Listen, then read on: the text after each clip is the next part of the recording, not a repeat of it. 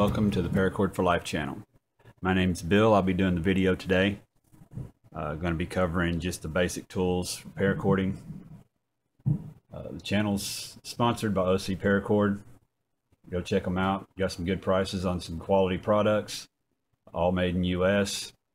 That's ocparacord.com. Um, also check us out on Facebook, uh, facebook.com forward slash paracord for life.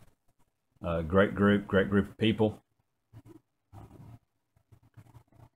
To get started, uh, we'll go ahead look at just the basics. Uh, there's just a couple things that definitely need while doing paracording.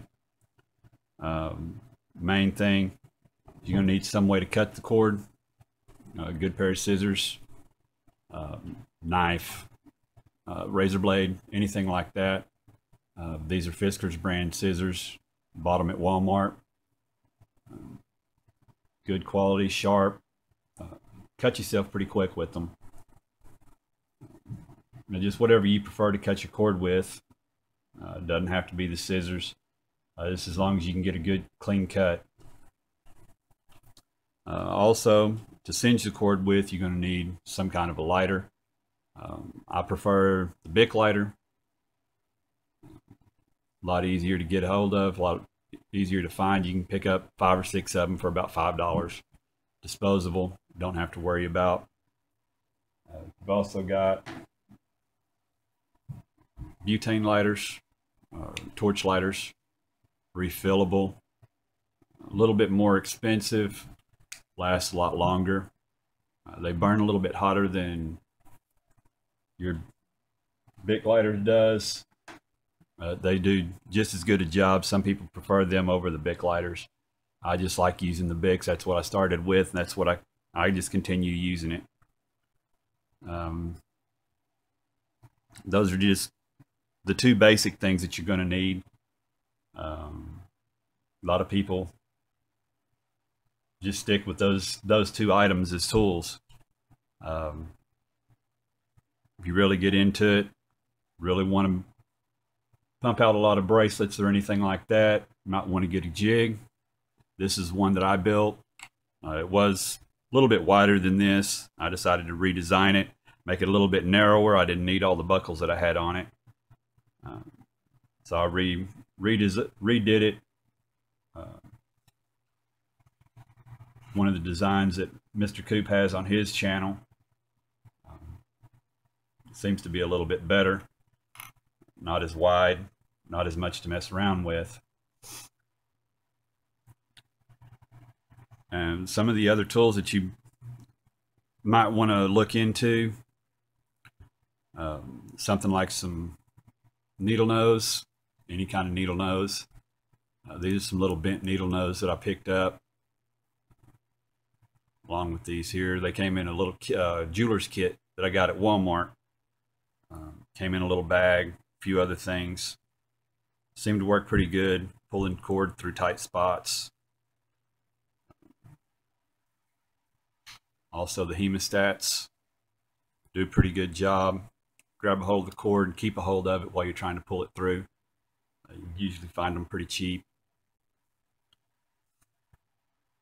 Uh, you got your uh, lacing needles or fids. You've got the blue alloy regular aluminum. They come in all different sizes. Got long ones, some medium ones, some short ones. Just depends on what you want to get. Uh, you can also make your own. Uh, believe later on we'll have video on how to make them. Also, whenever singeing the cord, you're going to need something to kind of flatten it out with. A lot of people that use the Bic lighters, they'll use the metal part uh, here at the top to kind of smooth the burnt or melted cord down. Uh, use, I've got this little contraption here, came in the set with my pliers and everything. It's a little bead scoop, but the back side of it works pretty good at smoothing out the cord, the melted cord. Uh, you can also use the handle piece from a pair of fingernail clippers. Found those work pretty good. It's anything that's got a good flat surface on them. Um, those are some of just the basics. Uh, if you're going to be doing any of the other more advanced things, like the Turk's head knots, uh, monkey fists, they got mandrels that you can get. Uh, you can even make the make these yourself uh, for making the Turk's head knots. Got that one there.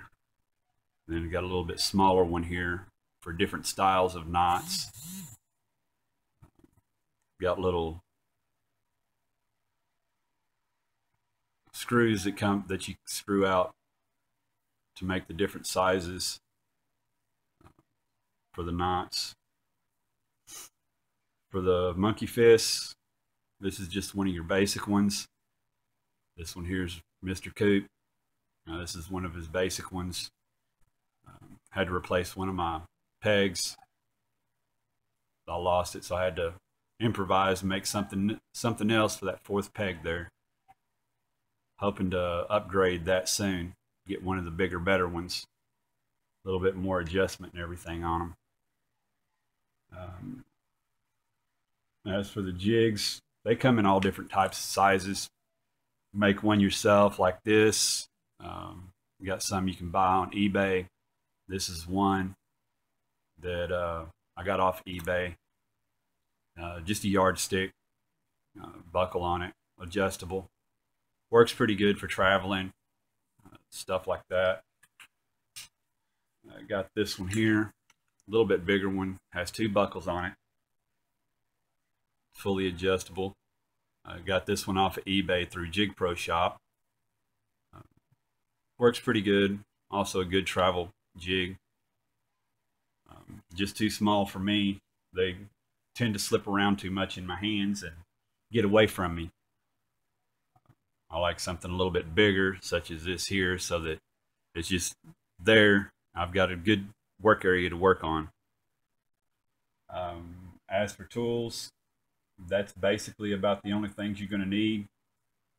Um, you can pick up quite a few of them through OC Paracord. He's got the the lacing needles, uh, needle nose pliers, things such as that. Um, great selection on cord, um, a lot of buckles, other things that you might need. Uh, that's ocparacord.com. Um, as far as your tools that you're going to be using, uh, that's about it. A lot of people just stick with just the basic ones if you're just doing the bracelets. Um, if you're getting into anything uh, heavier like the Turk's heads knots or anything that gets real, real intricate or anything like that, you might want to pick some of these up. But for now, that's that's about it. Like I said, my name is Bill. This is Paracord for Life channel.